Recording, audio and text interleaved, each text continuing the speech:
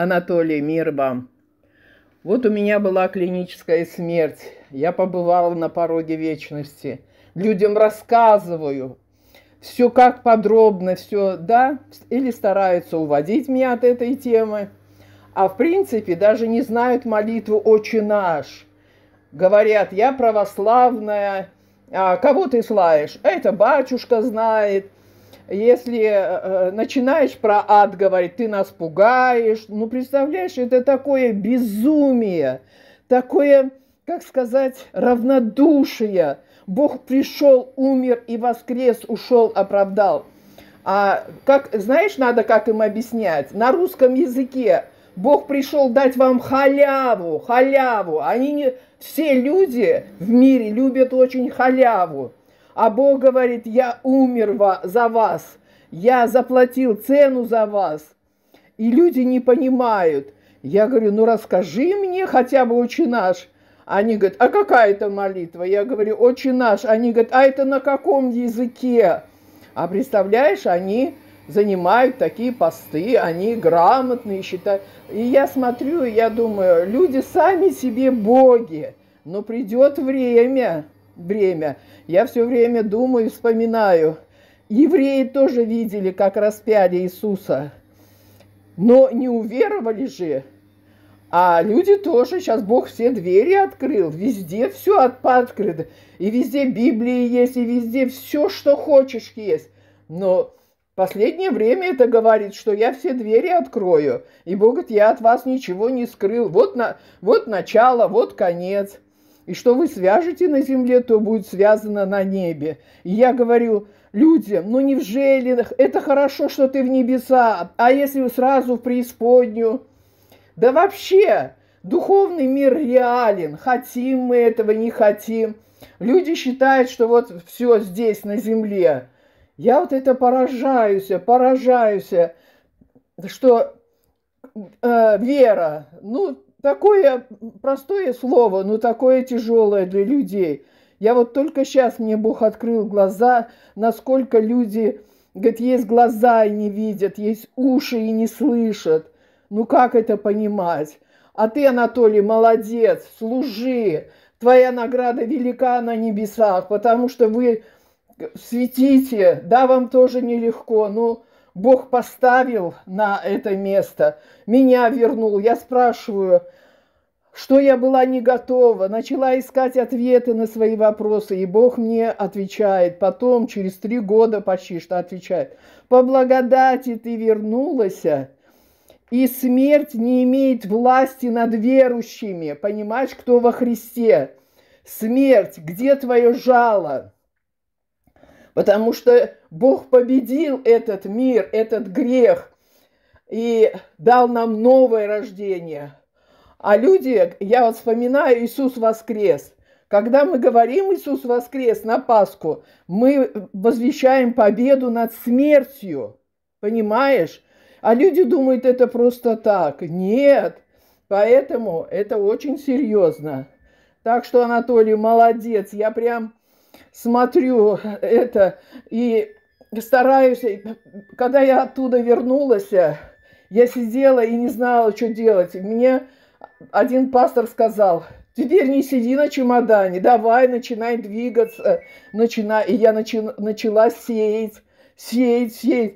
Никто не хочет, хочет ходить в церковь. Я такая чистенькая, я такая хорошенькая. Ну, знаешь, последнее время э, обольщение будет – что постепенно-постепенно люди опять уйдут в закон, чтобы благодать стереть, понимаешь? Это замысел этого рогатого, это он так, он обольстит людей, и люди, потому что в некоторых церквях, я смотрю, законники, они на, уповают на свои дела, на, на, ну, мол, я вот такую десятину ношу, я это, и потом один пастор – прошелся по церквям и говорит, а что вы сюда ходите, все.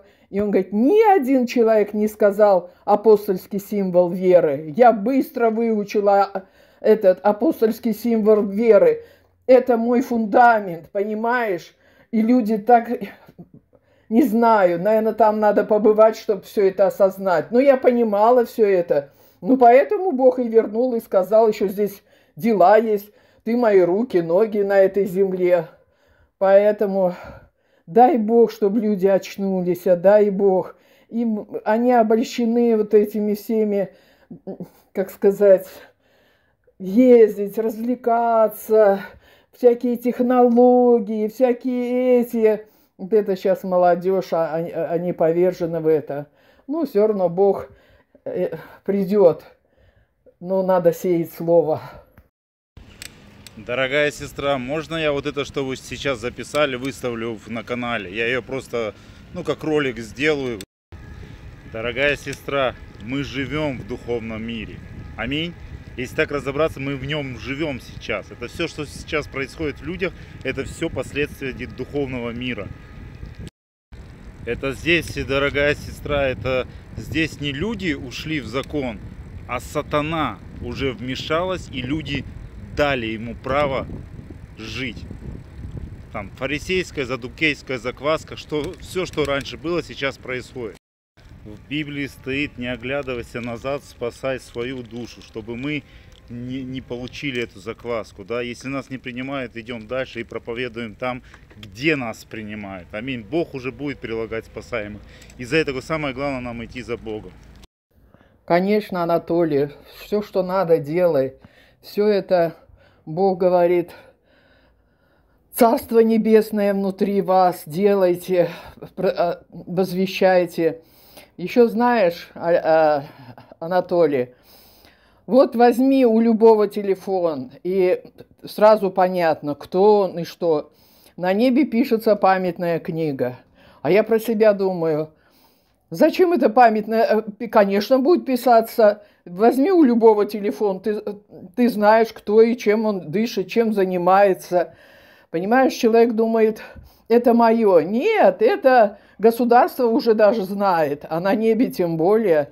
Поэтому люди как-то к этому относятся, а ладно, а ладно. Но когда я там была, я думаю, а если бы я не вернулась, вот что ты взял оттуда, это все там не будут спрашивать, не будут, я так поняла. С чем ты пришел, то и определиться. Но я, например, читала Писание, никогда не обращала на облака. Ну, облака, облака. Ну и сейчас для меня облака это очень дорого, потому что это символ небес, да.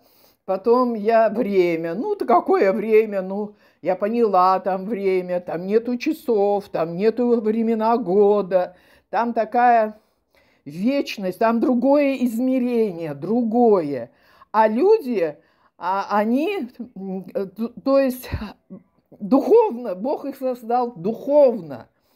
Поэтому за счет греха плоть, она воспроизвела, и Бог теперь все вернул обратно, и будет новая земля и новое небо, и как Бог задумал изначально, так теперь будет человечество проживать. А люди думают, многие, я спрашиваю, говорю, а ты, ну, многие, конечно, не, не хотят отвечать и не верят, потому что много мирской информации в голове. Они заняты чем угодно, только не этим. А, и потом еще Анатолий.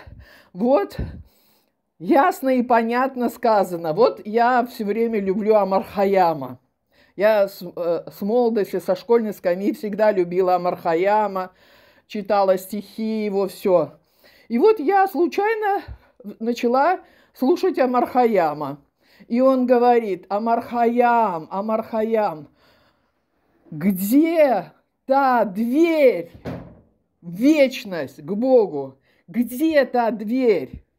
А Иисус говорит, я есть дверь, я. То есть Иисус пришел, э, и потом еще, как этот говорит один маг, такие люди глупые. А, они спрашивают, что такое душа. Приходит, когда они ворожить, на кого-то порчу нагонять. Мы их предупреждаем, всегда говорим, что будут большие последствия. Они на все соглашаются. И там случай рассказывал, и потом он говорит, я спрашиваю, ты знаешь хоть, что такое душа? А человек говорит, ну, душа – это эмоции, чувства. А этот говорит, нет, душа это портал. Портал. И теперь ясно, понятно, смотри. Иисус пришел, открыл портал. Когда изгнал из рая, портал закрытый был, там стоял ангел с огненным мечом. Что... И теперь пришел Иисус, открыл портал, и кто Христовы, они пройдут через этот портал. А кто не Христовы, хоть что ты делай, ты не пройдешь через портал. Это ясно, понятно. И потом я место Писания нашла. Помнишь, Яков там спал, ангелы спускались и поднимались. Ангелы. То есть это тоже было как бы портал. Только ангелы могли, могли проходить. И поэтому люди думают, я вот я смотрю, я живу на Востоке, они едут, паломники, да, да не спасет вас паломничество. Паломничество это вы делаете сами для себя. Другие, они не могут, никто не может в этом мире открыть туда дверь. А Иисус пришел, Он примирил нас с Отцом Небесным. Правильно? Он соединил нас – и стал нашим Господом и Спасителем, а мы принадлежим Христу. Только кто принадлежит Христу, они пройдут через портал, другие не пройдут, хотят они этого или нет. Поэтому, что надо, Анатолий, спрашивай, я тебе скажу. И молодец, не унывай, сей, никого не слушай, портал открытый для тебя, и смерть не имеет над тобой власти. Ты должен это ясно, понятно знать как я прошла, я знаю, Бог открыл мне потом, что не имеет уже э, смерть над вами власти. Вы бессмертные уже, не, не там, здесь, на земле. Поэтому, Анатолий, храни тебя Господь.